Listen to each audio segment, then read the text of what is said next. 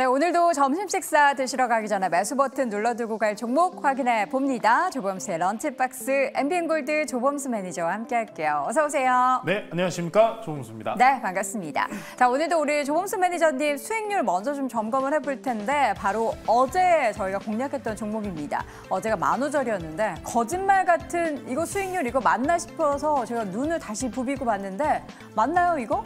거짓말이면 안 되겠죠. 네, 안 되죠. 거짓말이면 안 되기 때문에 맞습니다. 네. 어제 소개시켜드렸던 모니터 랩 같은 경우에 음. 어, 소개시켜드린 이후 2시부터 좀 주가의 흐름이 좋았습니다. 네. 2시 이후로부터 시간 외까지 마이크로소프트 관련주들이 강세를 펼치면서 오늘장 중에 개별 테마성 이슈로 좋은 상승분을 만들어준 모습을 보고 계십니다.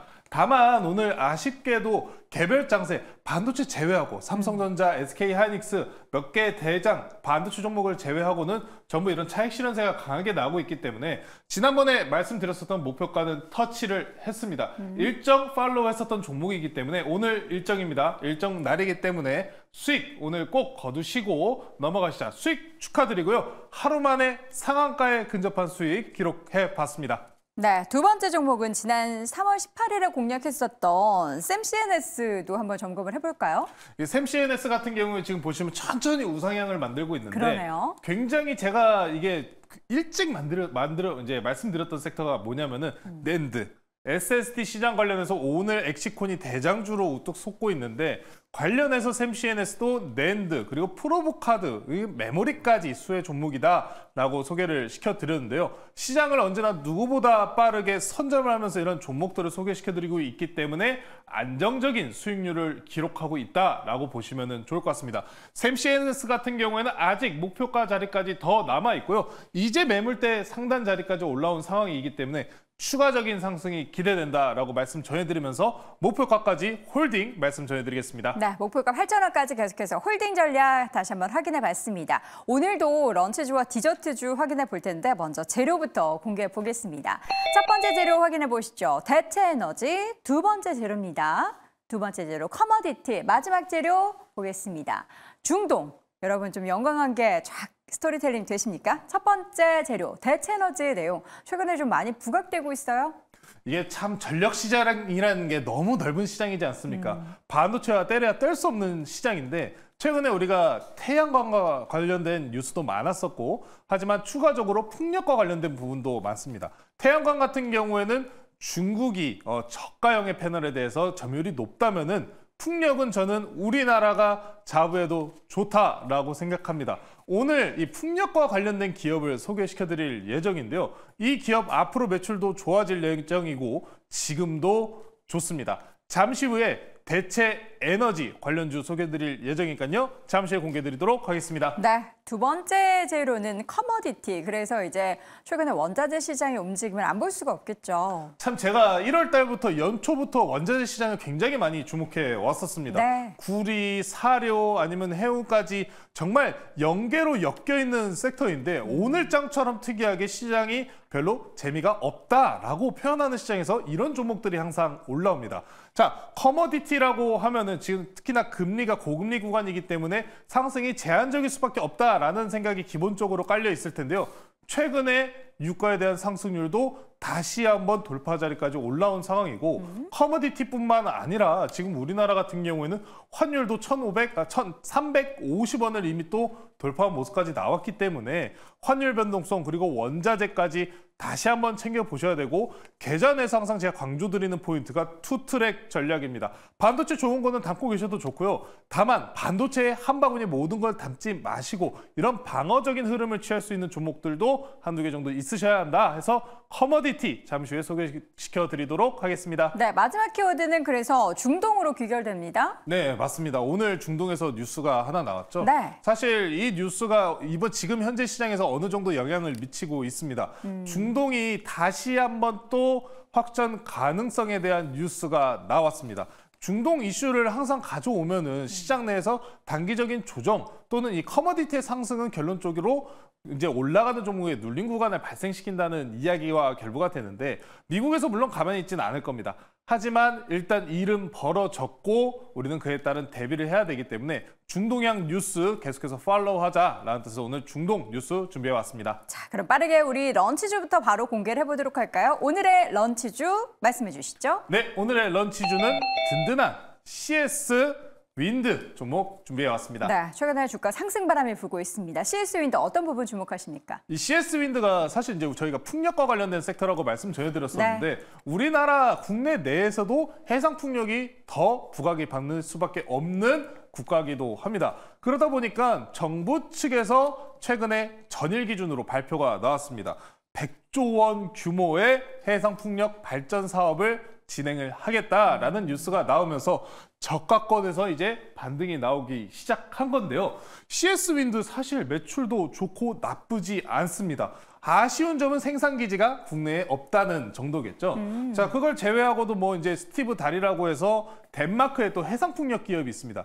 해당 해상풍력 기업도 와서 한국의 제조업 너무 뛰어나다 하면서 한국과 풍력 사업 같이 하고 싶다라는 이야기까지 풍력 사업 내에서 우리나라와 함께 협업을 한다면 주목받을 곳은 무조건 CS 윈드밖에 없습니다. 네. 이 CS 윈드 정말 대단한 게 올해 매출 목표를 얼마로 세웠냐? 올해 매출 목표가 지난해 대비해서 두 배 가까운 3조를 제시를 했습니다. 음. 지금 주가 위치는 어떤가요?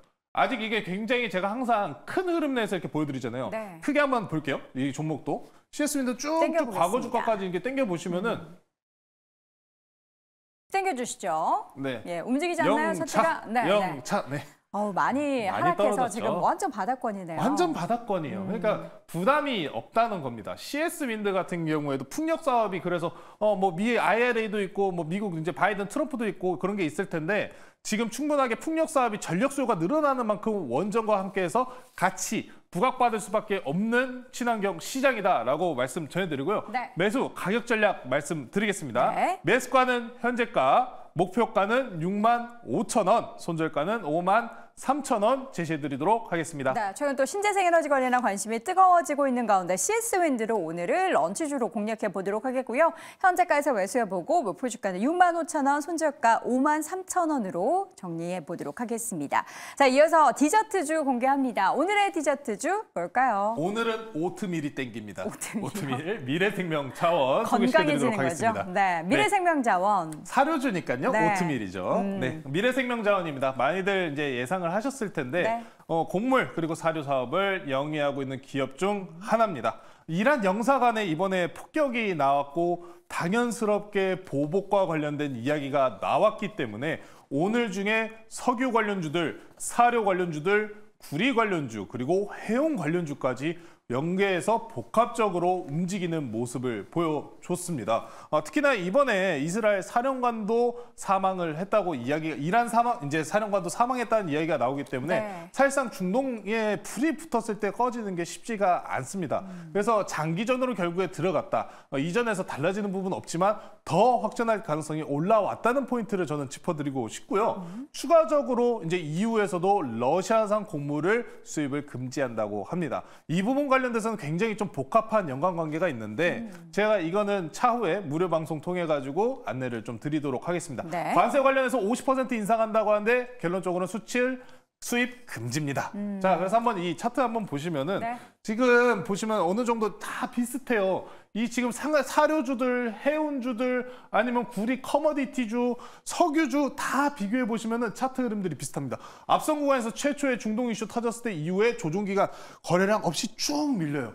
다음에 보시면 이제 거래량 들어오기 시작한 구간입니다. 그럼 무슨 이야기일까요? 여기서 이슈 팔로워가 만약에 한 번 더 붙는다면은 이전 고가 정도는 충분하게 뛰어넘을 수 있다라고 보시면 좋을 것 같고요. 추가적으로 어제 미국에서 PMI 발표가 있었죠. PMI 지수가 50 이상 나오면서 너무 안정적인 제조업 상태를 보였기 때문에 유가에 대한 하락은 제한적일 수밖에 없습니다. 유가의 추가 상승이 지금 열려 있는 상황이기 때문에 곡물, 사료, 커머디티 전반적으로 다시 한번 올라갈 수 있다는 점 말씀 전해드리고요. 네. 가격 전략 소개시켜드리겠습니다. 매수가는 현재가, 목표가는 지난 고점 근처인 5,600원, 손절가는 4,300원 제시해드리도록 하겠습니다. 네, 오늘의 디저트주 사료 비료 관련한 종목입니다. 미래생명 자원을 제시해 드렸고요. 매수가 현재가 목표주가 5,600원, 손절가는 4,300원 제시해 드립니다. 오늘 무료 방송은 장 끝나자마자 하시더라고요. 아, 오늘은 좀 일이 있어서 일찍 시작하려고 합니다. 오늘 무료 방송은.